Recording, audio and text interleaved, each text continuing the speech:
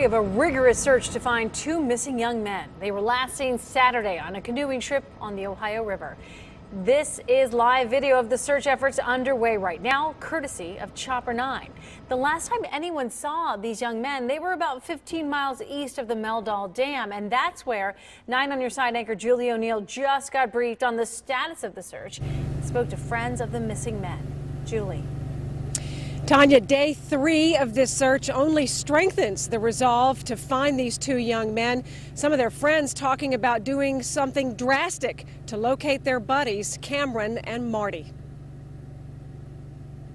Tyler Barnhorst combs the Ohio River in a borrowed kayak. Other friends look from land. 20 year old Cameron Berger on the left and 19 year old Marty Staniford on the right. Longtime friends from Troy, Ohio, just north of Dayton, took a canoe out on the Ohio River Saturday. Herb Layford is the last known person to see them. He was out doing work in his yard in Lavana. The waves were probably about two and a half feet high, and the wind was up, so they were kind of, and the current was coming down, so they were kind of staying in the middle. It looked like they were having a little tough time. Layford says they eventually got to the side. They were directly across the river and they were in the calm water. They were fine. But I do not know what happened to them after that. It's just terrible.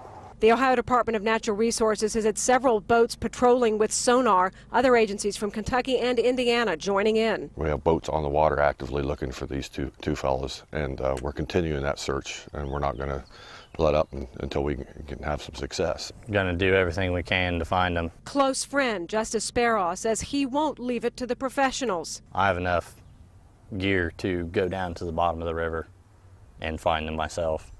Um, I'm an experienced lifeguard and I've done a lot of diving in a bunch of places.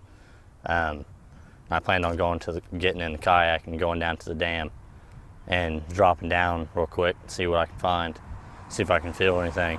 I asked Sparrow why such dedication. The love of friendship and the bond that we're going to have forever, whether they're here or not. That dedication touching, but search and rescue teams are not, they tell me, going to let him dive down at the dam, which would be far too dangerous. They're keeping an eye on things and even warning these other friends wear your life jackets out there in those kayaks as you're searching for them. They're very concerned someone else could get hurt as the water is high. The plan is to keep searching until sundown tonight or sunset tonight. Um, I'll keep you posted if we hear anything. Live at Meldahl Dam, I'm Julie O'Neill, 9 on your side. Back to you. We know you will. Thank you, Julie.